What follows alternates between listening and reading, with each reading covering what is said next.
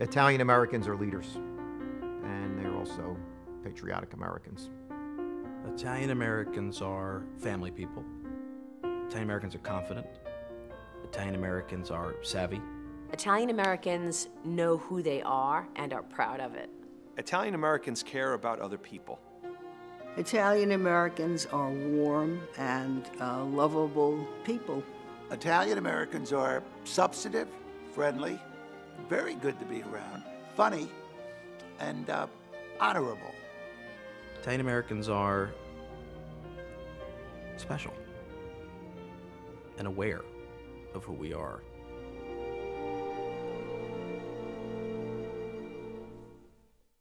I tell my children all the time, I said, you know, you should really take stock in the fact that you didn't know your great grandfather or your great great you know grandparents, but appreciate the sacrifices they made because the life that you have today, they built the foundation for it. My pop was from southern Italy, Calabria, uh, province of Cosenza. I think the family just needed to get out to where they could take wings, if you will. My grandfather was born and raised in a small village north of Milan. Basically, the American dream brought him. My dad's family is from Naples. My mom's family is from Agrigento, Sicily. They were very young. My grandfather, Carmine, came to this country first when he was 11. You could imagine how hard it must have been to leave a place where you had so much safety and you had your friends and your family. But they had that hopefulness and uh, optimism that if you came to America, you could start anew and create a better life for your family. And frankly, that's exactly what they did. My father was in the mines at the age of 11, stayed in the mines for the next 40 years. I remember at his funeral somebody coming to me and saying what a hard life he had. And I corrected him politely, saying it was a brutally hard life, but it was an eminently successful life because he put two kids through college, he took care of his family, he made sure that we were going to have a better life, an easier life than he had. And for my father, that was success. My grandfather's father was a tanner. My grandmother's family did piecework. My grandmother's father was in the sanitation department, which was like being the mayor in our neighborhood.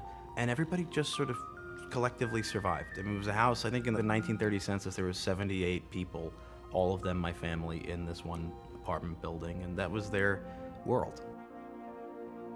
I have no doubt in my mind that the reason that I've had professional success is because of my upbringing. You know, I remember when I was a girl and I had a boyfriend who broke up with me and I was crying and I would, you know, I was so young and I remember saying to my mom, don't tell anyone. This, I don't want anyone to know, and this is just us. Well, she left my bedroom and went right upstairs and told my father, proceeded to call my sister, told my brother, and it was such a lesson for me because in my family, my problem was everyone's problem. And I think as a kid, that had an enormous impact on me because I realized and I thought that I could do anything because it didn't matter. Whatever I did, even if I failed, I had my family. That sense of family and family support, that is one debt of gratitude we owe to our ancestors. And that is a legacy that not only supported our families, but was a great uh, investment in America. We must make the American people hear our tale of two cities. We must convince them that we don't have to settle for two cities, that we can have one city, indivisible, shining for all of its people.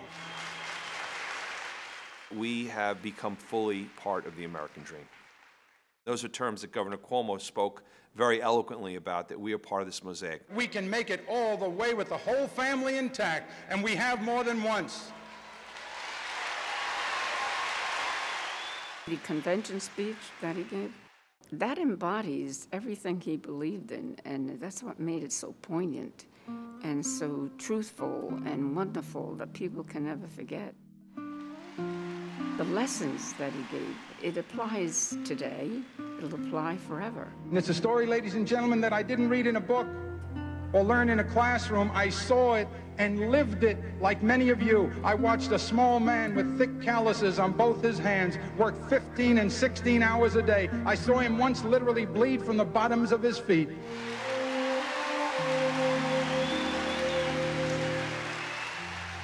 La Familia, the family.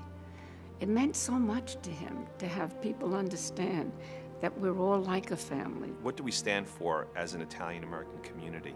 The sense of connection, the sense that we are all part of a family. And for me, when I'm a part of a NIAF event, there's this automatic connection with the people in the room. I'm so grateful for all of you. It's great to be Italian. We share a common history, we share a common love of our culture. And to me, NIAF is the place where that family can come together. I remember, oh, it probably was about 30 years ago, um, and I, I was having lunch with um, a young jurist at the time. His name was Antonin Scalia. I asked him, what's the purpose of this organization? He said, you know, we don't need help in getting jobs, we don't need help in this, but we've got a wonderful culture and we should really remember that culture. And I like to think that's, that is the ultimate purpose of NIAF. I grew up in a neighborhood that still, even in the 80s and parts of the early 90s, was predominantly Italian speaking, newspapers, radio. So you knew right away when you heard the sounds, when you smelled the smells, you knew you were safe. I found that again when I joined EF. That safety that you get together, be it family or the neighborhood or that extended kinship, that's what we survive in. And we at the foundation, you may come to one event in your life, but we hope when you come to that event, you ultimately feel that empowering safety. That's, that's the best we can do to hold on to the values, I think.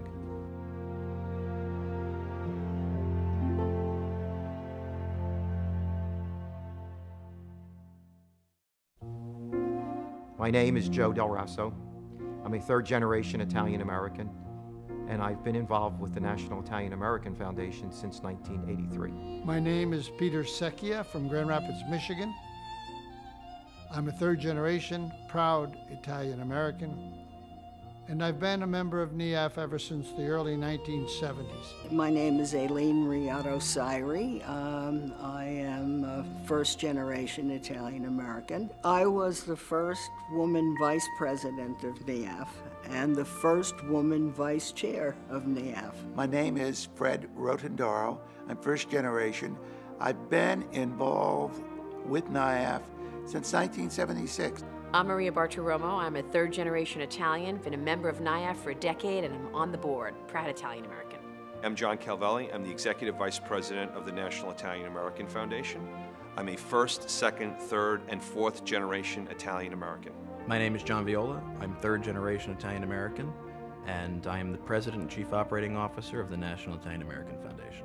I'm Matilda Raffa Cuomo, and I'm second generation Italian, and I'm very proud of it.